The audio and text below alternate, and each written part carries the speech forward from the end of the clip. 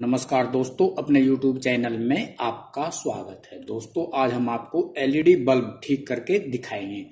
वो भी सिर्फ़ दो रुपए में। तो दोस्तों, अभी तक आपने चैनल को सब्सक्राइब नहीं किया तो चैनल को सब्सक्राइब कर लें, साथ में बेल आइकन की घंटी भी दबा दें, जिससे आने वाला नोटिफिकेशन आपको जल्दी से मिल जाए।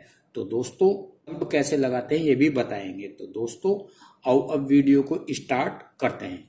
ये देखिए दोस्तों, ये मेरे एलईडी बल्ब हैं। और ये मेरे यहाँ छोटे छोटे एलईडी बल्ब हैं और ये मेरा होल्डर है। तो दोस्तों, ये बल्ब हैं तो यहाँ से इसको खोल लेते हैं। ये बड़ी आसानी से खुल जाता है। ये खुल गया है और यहाँ ये होल्डर है बिजली का। यहाँ बिजली के हम होल्डर में इसको ऐसे लगाएँगे। थोड़ा सा काम इसमें हमें सावधानी के साथ करना होता है। अब बल्ब वाले होल्डर को हम लाइट में लगाते हैं। तो दोस्तों, ये हमने लाइट में इसका होल्डर लगा दिया है और एक हम प्लास्टिक वाली चिमटी लेते हैं, जिसके ऊपर प्लास्टिक का कवर चढ़ा हुआ होता है और आगे से इसमें देखिए ये खुला हुआ है।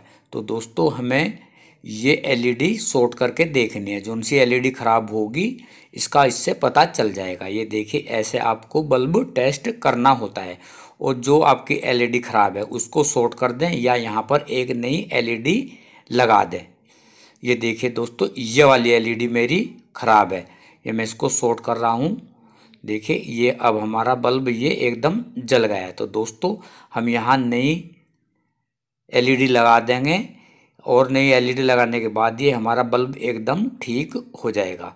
तो दोस्तों, आप भी इस तरीके से अपना बल्ब ठीक कर सकते हैं। सिर्फ़ दो रुपये में, एक रुपये में ये एलईडी बल्ब आता है, इसे आप आसानी से चेंज कर सकते हैं।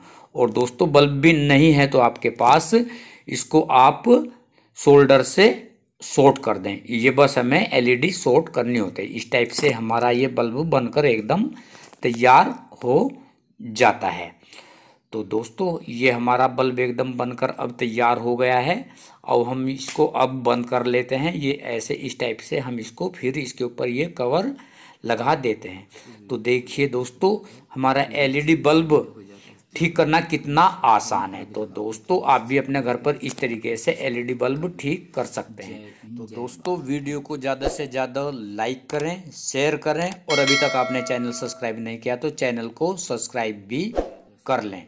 जय हिंद, जय भारत।